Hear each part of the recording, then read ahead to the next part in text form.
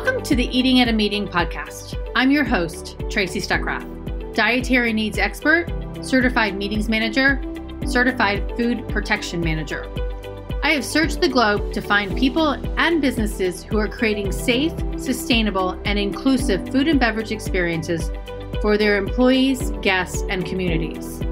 In each episode, you will find authentic conversations about how food and beverage impacts inclusion, sustainability, culture, community, health, and wellness.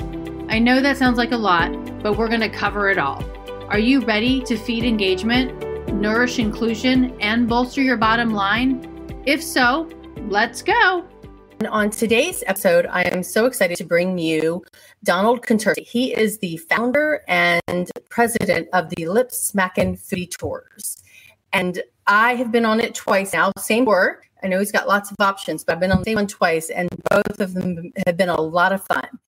And you eat really, really well. Convention Management Association convention early in January of 2022. That's the year we're in right now. And and I had so much fun. And I the one I went on was the downtown, right? Yes, downtown lip smacking tour. Mm-hmm. Downtown lip smacking tour, and for everybody to know, we went on three. We went to three different restaurants, and we sat down and we enjoyed these delicious dishes from multiple dishes from each restaurant. And I have to say, in January, I was following ve- doing veganary, so I was vegan plus gluten free, and my food was so good. I, I Donald, it was it was amazing. It was so good.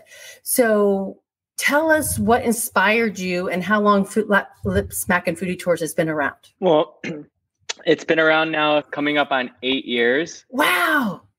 So it's been some time. And uh, previous to lip smacking, I was a server in Las Vegas for over a decade. And for my hobby, I would go and try all the different restaurants in Las Vegas. There's so many, and there's always new ones opening. Oh, yeah. mm-hmm. And you know, when I travel somewhere, I like to you know try the restaurants, go where you know the, the locals go, and then when you when you go to these restaurants, you know you can only order so many items, right? right. So hopefully you choose the right ones. So what I wanted to do is I wanted to curate an experience where you get to try the top dishes from the top restaurants all in one night and then introduce a VIP component to the dinner reservation where either you're not waiting for your reservation and you know your your cocktails are served on arrival and allergies and dietary restrictions are you know exceeded for accommodations and so now you know it's it's grown from from when I first started doing tours to you know, multiple lip smacking tours every day, lunch, dinner, private tours for corporate groups, tours in other cities, self-guided experiences. So, so it's been really, really fun. And, you know, we, we, we're proud to partner with the top restaurants in Las Vegas. That is so awesome. And I I remember meeting you at WEC in San You were mm-hmm. one of the exhibitors. And I don't know how many years ago that was because we're going back to San Francisco this year, but that so it, that was in the last seven years or eight years. But yeah i'm i'm so proud of you. That's amazing. And did you and i know on my january tour like the tour guide he said he was at one of the steak the steak tour that's downtown or in in on the strip and he's mm-hmm. like and oh what's his name one of the chefs tapped him on the shoulder and says stop talking about my restaurant i want to talk about it now and oh, just, really? You know, yeah and people are like, "Oh my god!" You know, and it was, "Oh my gosh, blonde hair, um, Hell's Kitchen." Who's that? Gordon Ramsay. Yeah, Gordon Ramsay just tapped him on the shoulder and says, "Let me talk about. Let me talk to them." So that's got to be exciting as well. Yeah, it is. You know, we tell the story of the restaurant, what makes it so great. And, you know, we really kind of introduce people to places they maybe hadn't heard of. It's kind mm-hmm. of one of those things like if you know, you know. For example, Milos is a partner of ours.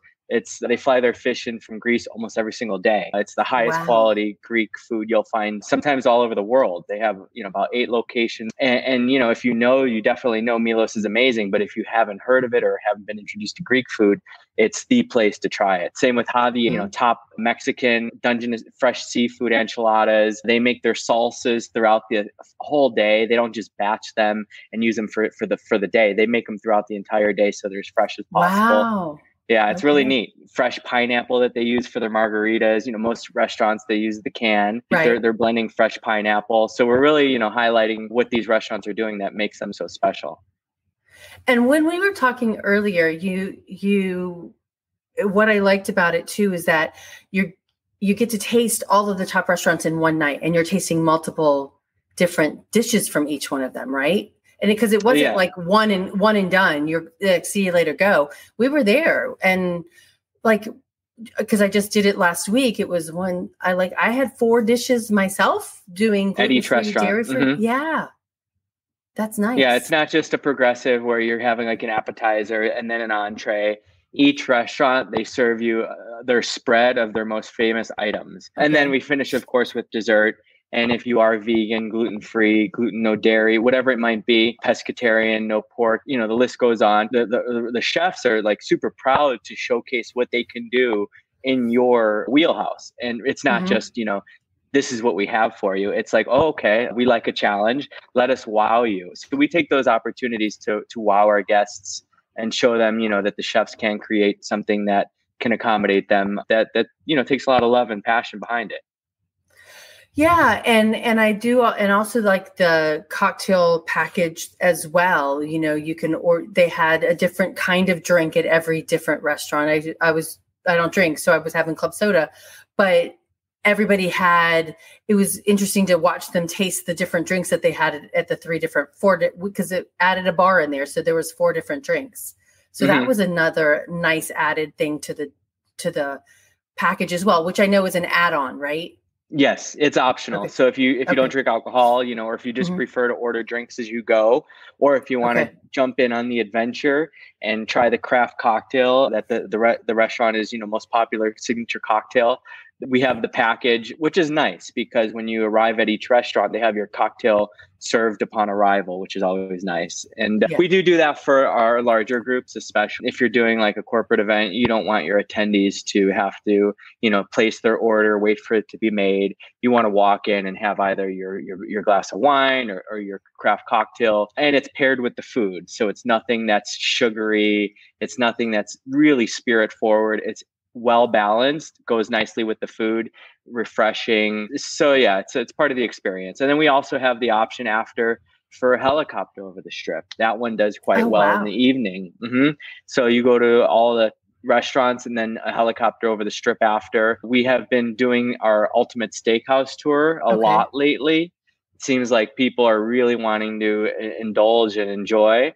So this experience takes you to three of the top steakhouses in Las Vegas and this is the only lip smacking tour that's not within walking distance. All the others, okay. the restaurants are very close to each other, so we stay within okay. the resort. This one has luxury, tra- so we take a limousine from from steakhouse to steakhouse. Wow! Uh, and it's usually smaller, more intimate groups, or you know, people that are celebrating birthdays, milestones, that sort of thing. Okay, and then I noticed, and I just I was in Cosmopolitan the other day, and there was a huge line outside to get into Momofuku. Do I say that right? David Chang Momofuku, yeah. Right, and I had never heard of it before, but I know it's on your tour. And and one thing about your tour is that you don't have to stand in that line; you just zoom right through. Right? Yeah, it's a VIP. Uh, it's kind of like the nightclub host walking you right past the red velvet ropes. Uh, uh-huh. Uh, we have our table waiting for us. And so we go right to our table. Shortly after seating, the food comes right out. You know, if you do want to order a cocktail, you have a couple of minutes to do that before the food is on its way out. And so, yeah, it, it, does have that VIP aspect because it's a spectacle. Upon seating, you know, there's menus already sitting on the table of what you're going to have, custom printed menus. So mm-hmm. it, it kind of acts as your reserved sign and then they parade the cocktails out from the other side of the room is coming your food. And it's this big you know song and dance spectacle. And, and, and it gets a lot of wow factor from onlookers that are kind of wondering you know what's the commotion? Who who, who is that? And right. how did they get everything so quickly? And and then once right. we're done eating use the restroom before we depart and uh, do it all over again now, okay, so let's go back to the walking thing too. I liked the one downtown, which is the only one that I've taken twice now, but you give all the history of downtown, which a lot of people don't know. And like, here's the oldest hotel in the city. This is what Tony Tony, mm-hmm, Tony from. Zappa Tony Hsieh from Zappos did. So talk about that a little bit. Not to give away the, everything that you do, but yeah. That's part of it. And a lot of people don't expect to have the, we call it the dinner and show component because you're not mm-hmm. just eating. There is a guide, very knowledgeable, that not, not only tells you about the food, but all the in betweens between the restaurants, whether it's a speakeasy, as you mentioned downtown, they have the container park with the repurposed shipping containers and the fire breathing cool mantis from Burning mm-hmm. Man. So you get the backstory on how downtown began and the revitalization with all the new restaurants, you know, what's been going on in the area. So it's it's a lot more to it than just eating. It's it's very entertaining, very engaging. And so we talk about, you know, cocktails that you you have to order that aren't on the menu that come with the flower that you put in your mouth, numbs uh-huh. your mouth. You take what? a drink and all the flavors are very intense. You haven't taken that lip smacking. No. Yet, so. Got you on the hook with that one. You do, uh, definitely. Wow, that's pretty cool. And how many tours are there? So we have yeah, mm-hmm. resort and casino. We have Venetian and Wynn. So it okay. goes between those two resorts. They're next to each other. Right. We have within Resorts World. That's the new hotel that just opened. We also have within Virgin Hotels. That's another new resort. So all new restaurants, Todd English's Olives. And then we have downtown, which you've taken, and also another one downtown in the Arts District, which is a little bit further from the Fremont Street area. And these are again all new chef driven restaurants where these chefs have used used to work on the strip have gone out and opened up their own venues. They're, you know, they're getting in the best ingredients, the highest quality products that they're accustomed to but has this neighborhood hospitality behind it. And we also have one all uh, within Chinatown. Las Vegas okay. has a Chinatown not too far from the strip.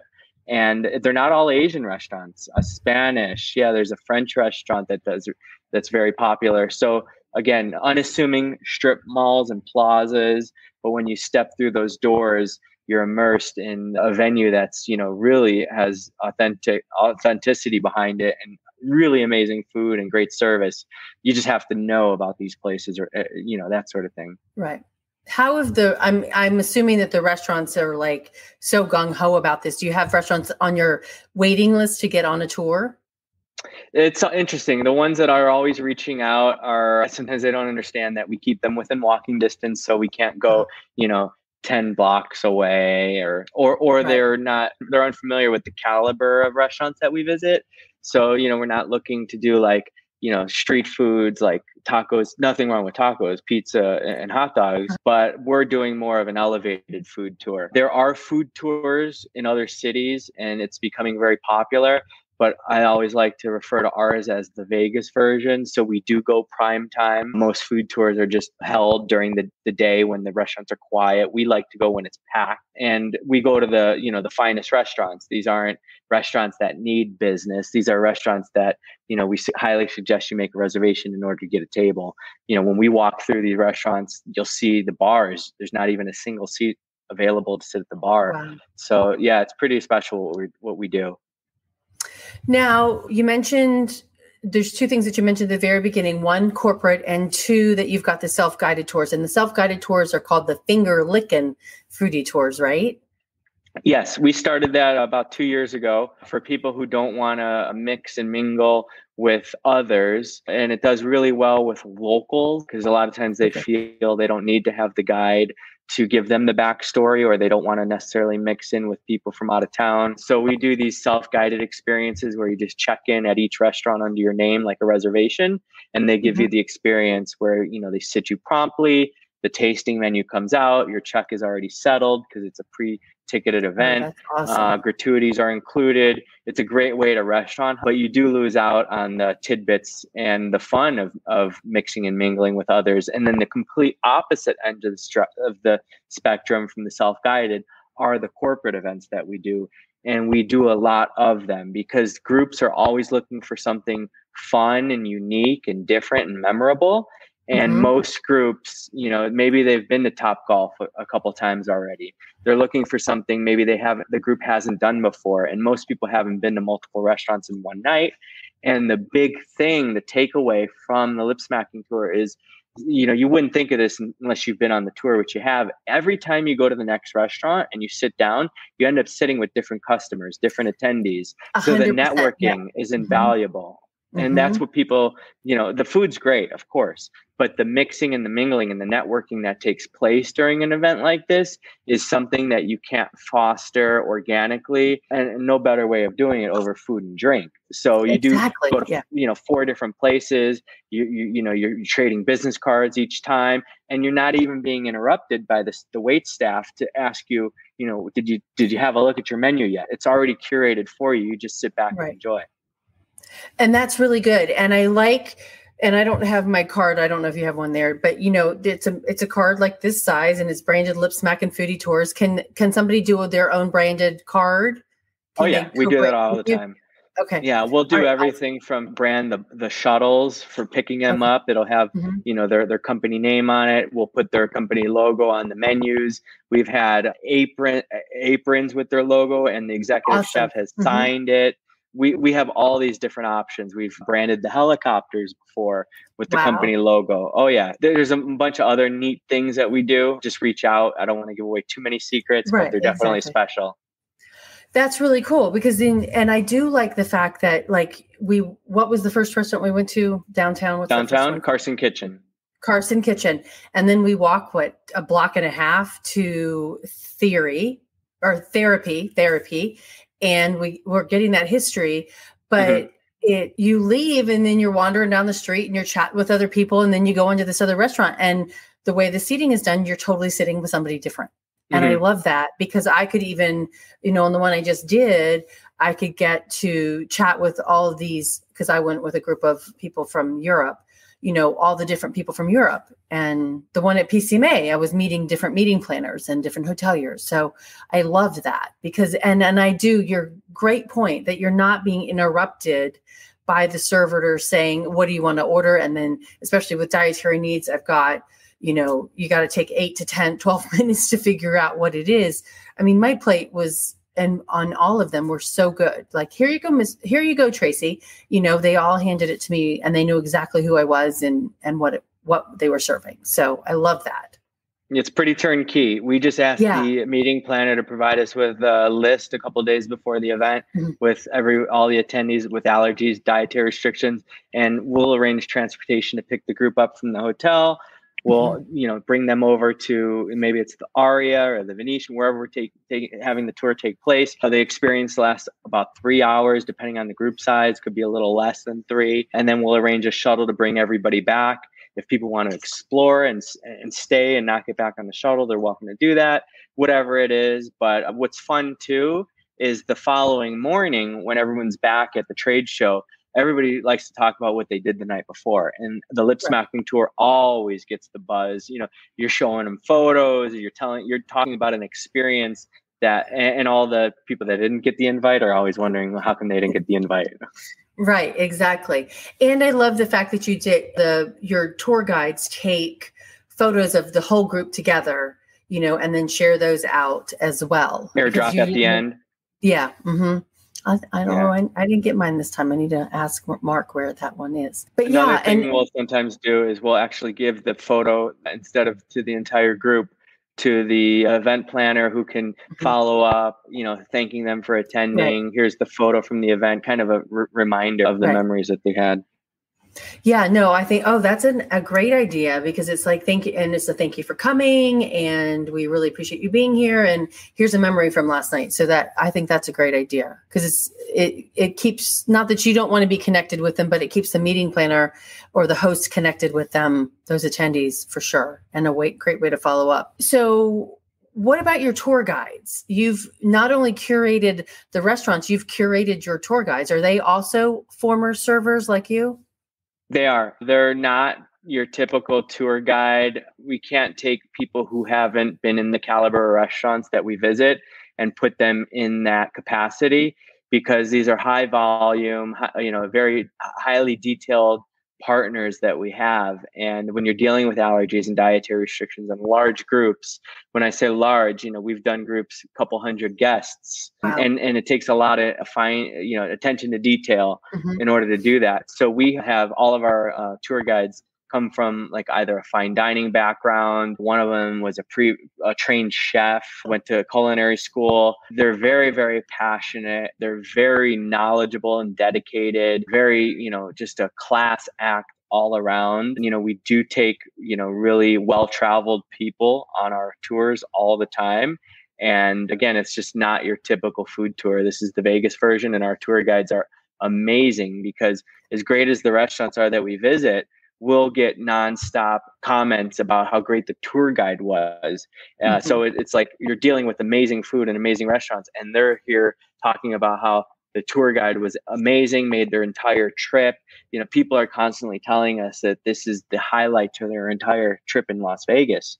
We hear that constantly. Like this was the best thing they've done. It was the highlight. You know, you're spending a couple hours with with people and you're making mm-hmm. them feel special because they're here from another place and they're, they don't really know anybody else right. and you're you're you're talking and eating and drinking and it's just it, it's it's unbelievable how special of an experience this is well and i think it's also really important because and i think you said this before we started was that there's so many restaurants in Las Vegas and some close and some open and you never know and you can't get into, you know, Hell's Kitchen or wherever, but this is your opportunity to do that, right? And for probably I mean, and pricing wise, it's what what's the what's the price range? Start at 125. They're unbelievable for what you get. 125 exactly. I'm like trying to get into hell's kitchen and this place and this place and this place is you're going to spend well over 125 dollars per person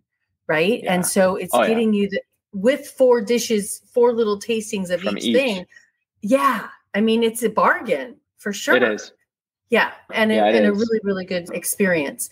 The there was something you said, but it went away. I don't know what it was, but it, I, I just, it's, it's been a lot of fun the t- two times. And I told when I just went with IAC, I'm like, they're like, what do you want to do? And I'm like, you guys should do, you should add the Lip Smacking Foodie tour to the end of the, the conference. And so we did it at the end, but, oh, I know what I was going to say is that I was reading up on you and I found an article in Forbes magazine and the guy was writing about you, but he was telling in his piece, he's like, well, the Los Angeles, Mike Hiller, who I guess is the food critic for the Los Angeles Times, was saying everybody thinks they know the best restaurants in Vegas, but Donald Contursi really does.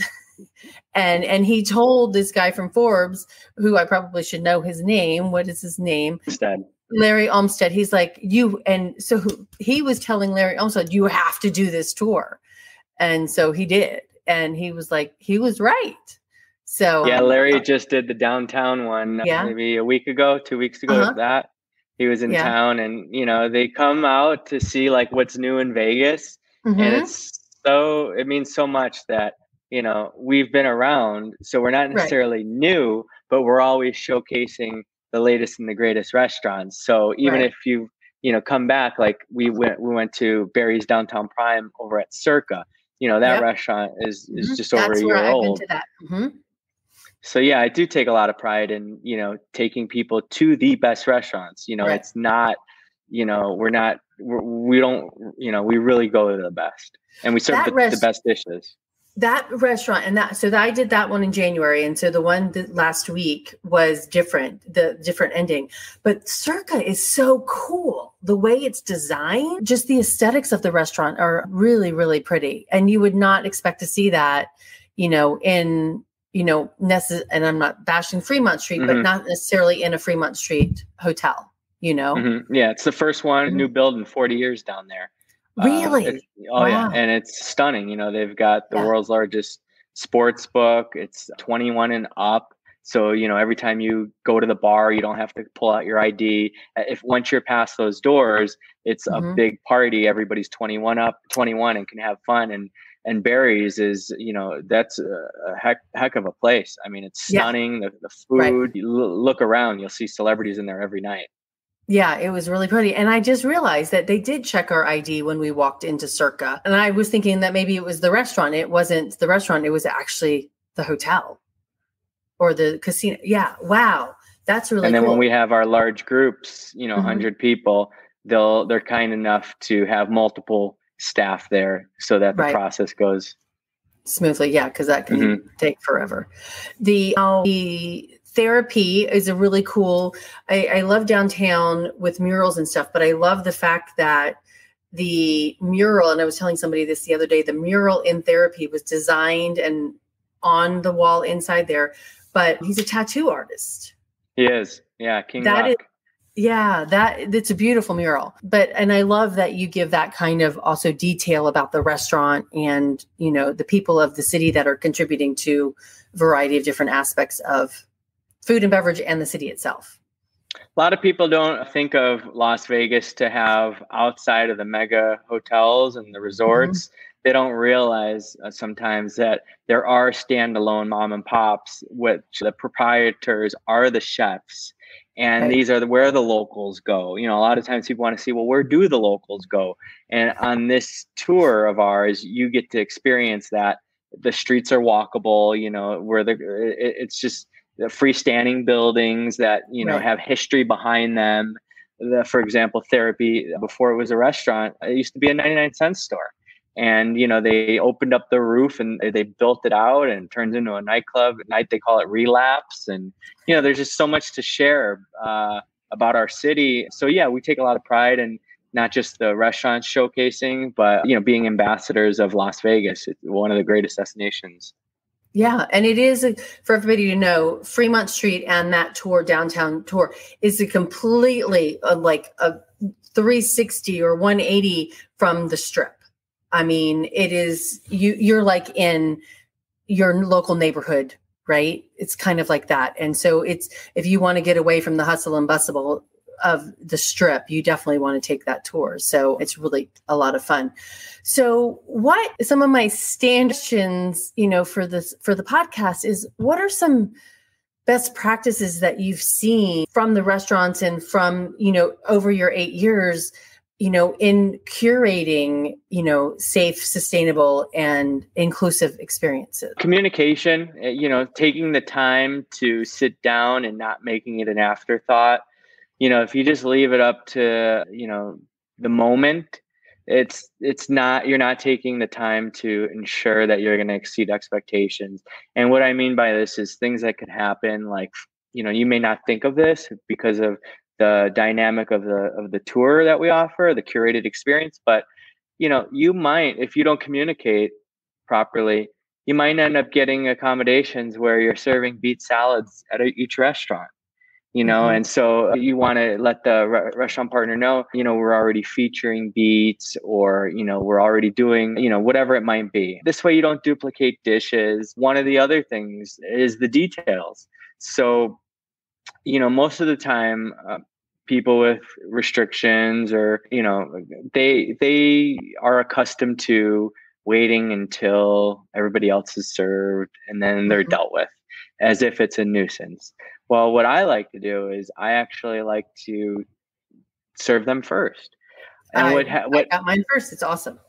And it makes you feel special. And as long as it's a, a beautiful spread that you're proud of, everybody around you will look at your dish and go, wow, you know, maybe I should have said I was vegetarian. That looks amazing. Mm-hmm. So rather than, you know, and, and, people won't start eating until everybody's served and you don't want to ha- feel guilty for having a restriction and others are letting their food get cold because you're having to wait for your plate so we serve you first this way you know it's all taken care of and nobody is trying to serve people the wrong items because it's already taken care of and it's out of the out of the you know element uh, mm-hmm. so so just putting thought into it you know if, if you don't take a moment to look at it from an operation or a guest perspective. You know, I've had everything from people say, well, you know, let's put all the vegetarians there. And you just can't ostracize people like that, you know, whether it's whatever their reasoning is. Everybody has a choice to sit wherever they like, and they should be, you know, inclusive and not felt, you know. So, so we do things too, like, you know, you mentioned that for IAC, a lot of the guests were from Europe. So when mm-hmm. we're speaking about temperatures or you know we're giving these tidbits on you know how many feet something is you know we have to think they're they're using a different system and so we translate in in theirs and ours metric and so it, it, it allows them to feel like inclusive opposed to speaking a completely different language and not knowing who your audience is. Okay, I'm going to jump to speaking different languages. Do you have individuals who speak multiple languages that can translate for people? I wish our guides, you know, they, they can't have everything. They're exceptional. Right. One of them speaks Spanish, but a lot of times we'll have interpreters, uh, gotcha. you know, third party. Mm-hmm. And uh, you know, for our larger groups, we'll instead of us wearing the microphone, we'll put the microphone on the interpreter, and the tour guide will share a little bit more of a condensed version because it takes a little extra time, and you know, so so we do have that, but no guides that are speaking fluently in other languages, unfortunately. But luckily for us, food is a universal language. Yes, it is. yes, it is. Now, what about thinking about individuals who utilize wheelchairs or hearing impaired or blind? How do you manage that on the walking tours? Because, and I want to say that every restaurant we went into was it was accessible on the downtown one, right?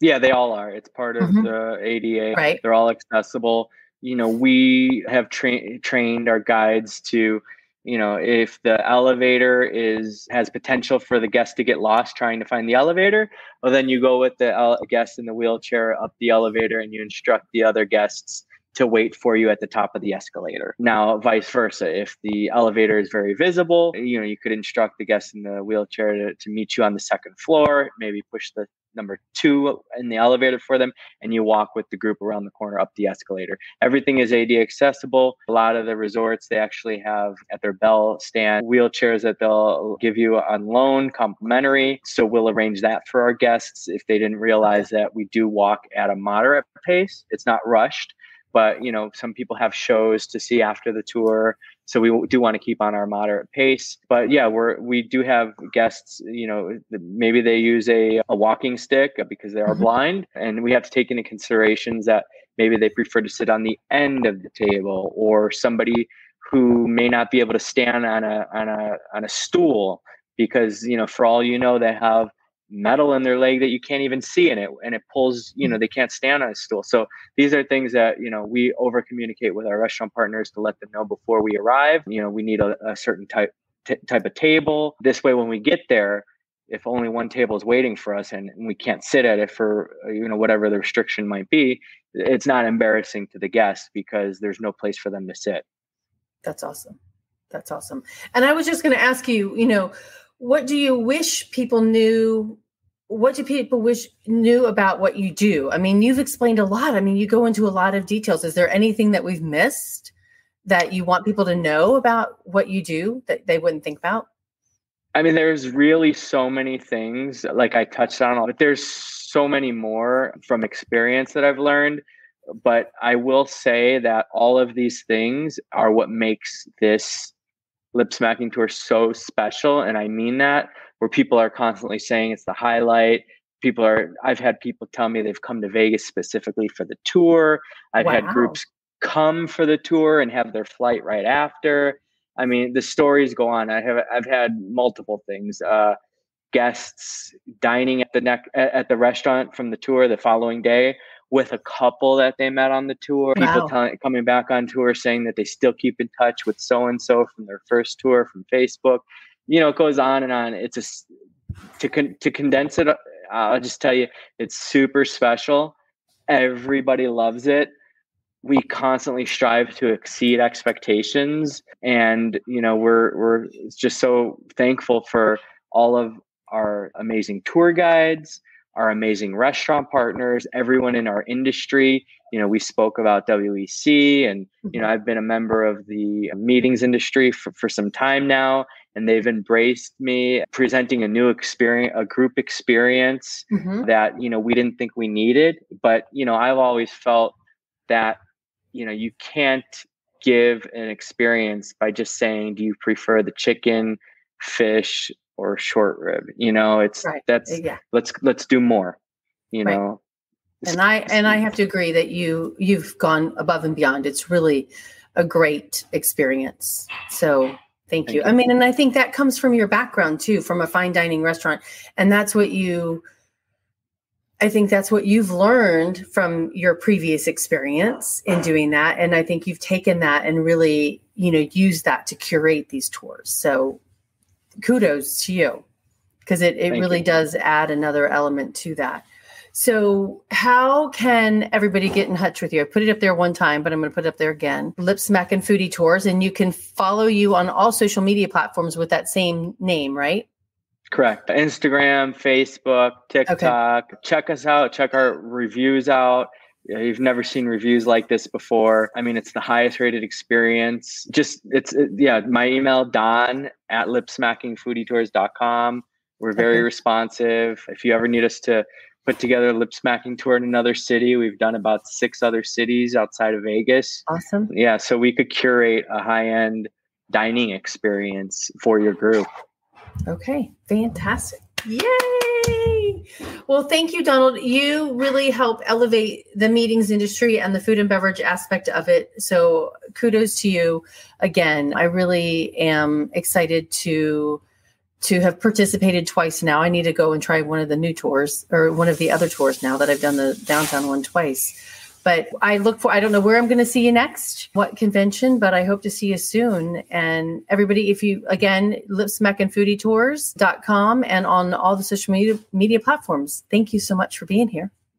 Thank you, Tracy. Appreciate it. You're welcome. And everybody, until next time, stay safe and eat well. And we'll talk to you the next time. Have a good day. Thanks for listening to the Eating at a Meeting podcast, where every meal matters. I'm Tracy Stuckrath, your food and beverage inclusion expert. Call me and let's get started right now on creating safe and inclusive food and beverage experiences for your customers, your employees, and your communities. Share the podcast with your friends and colleagues at our Eating at a Meeting Facebook page and on all podcast platforms. To learn more about me and receive valuable information, go to tracystuckrath.com. And if you'd like more information on how to feed engagement, nourish inclusion, and bolster your bottom line, then visit eatingatameeting.com.